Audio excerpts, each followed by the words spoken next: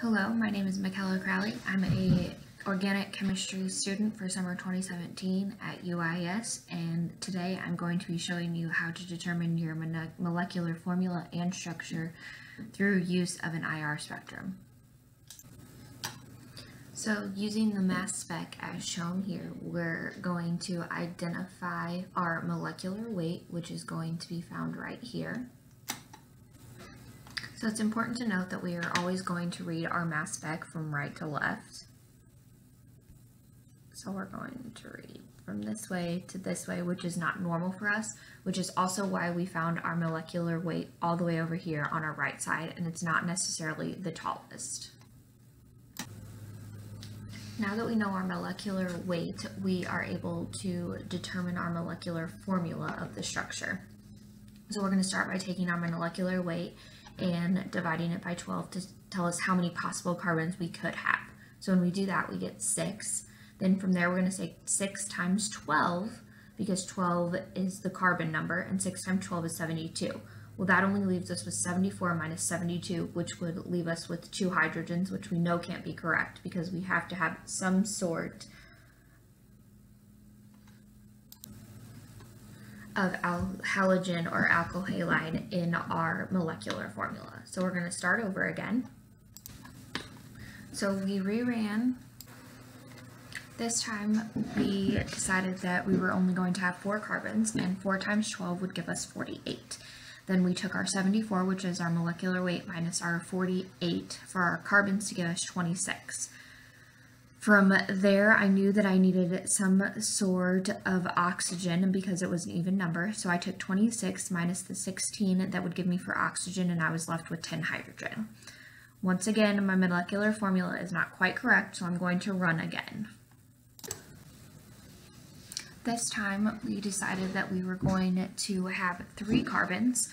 So once again, I did my 74 divided by 12 to give me my total that I could have six carbons. Then from there, I took 3 times 12, which is my total carbons that I can have to get 36. Took 74 minus 36, was left over with 38. Took 38 minus 32 because I decided that this time I was going to have two oxygens, and 16 and 16 is 32 to give me six hydrogens. Based upon our final calculations, we discovered that our molecular formula is C3H6O2. Now, from here, we're able to determine our degrees of unsaturation. So next we're going to calculate our degrees of unsaturation. So in order to do this, you're going to take 2 times the number of carbons you have. So in my case, I have 3, plus 2, plus the number of nitrogens you have, and I have zero, so I'm going to add that to zero. Then I'm going to subtract the number of halogens I have, which in my case is oxygen and 2, and then I'm going to subtract again the number of nitrogens I have, which is 6. From there, I'm going to divide this entire equation by 2,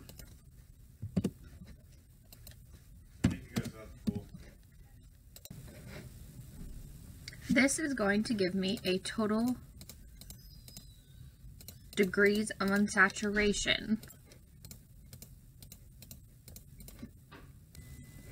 This is going to give me a total degrees of unsaturation of zero. We're also able to draw our molecular formula, which I like to draw mine such as this. So I'll go ahead and draw it here. So we're going to have a hydrogen, it's going to be bonded to a carbon. It's going to be bonded to an oxygen. It's going to be bonded to a CH2.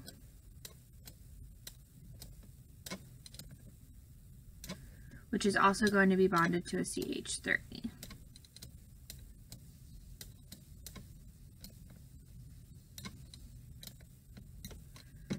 Our carbon here is going to be double bonded to an oxygen to account for all the bonds that are needed. So we can go ahead and count everything up and make sure we have it. So we have two hydrogens here and three hydrogens here, which gives us five, and then a hydrogen here, which will give us six total hydrogens. then we're going to need three carbons. So we have one carbon here, one carbon here, and one carbon here. Gives us three carbons and two oxygen. So here's one oxygen here and one oxygen here. You can also see up at the top right hand of your screen the molecular formula in a 3D structure. That has appeared on every slide. Next, we're going to be looking at our IR, and it's important to note that when you're looking at your IR, you don't want to look at your fingerprint regions.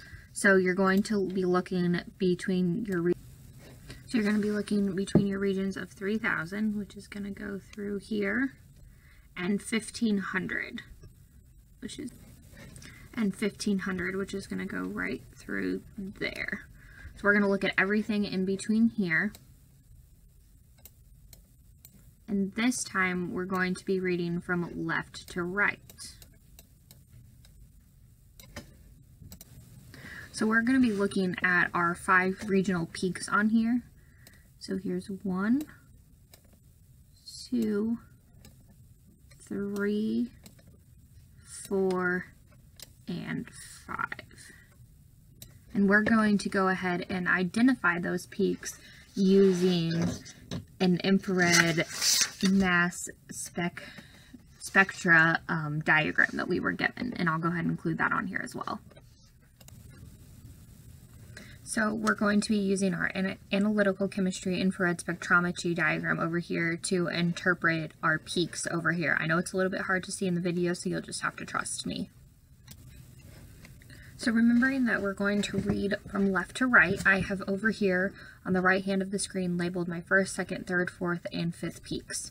So my first four peaks were pretty easy to identify. They're all alkanes. They all happened before the 2000 I'm sorry, they all happened after the 2000 and before the 3000 and before the 3000 mark.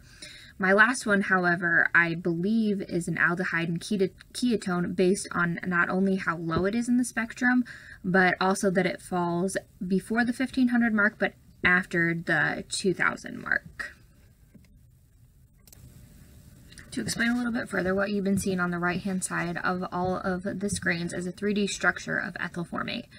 So I thought that I would go ahead and put it on my last on my last slide just to conclude that the mass spec and infrared spec that I were given led me to believe that my mo molecule in question was ethylformate C3H6O2.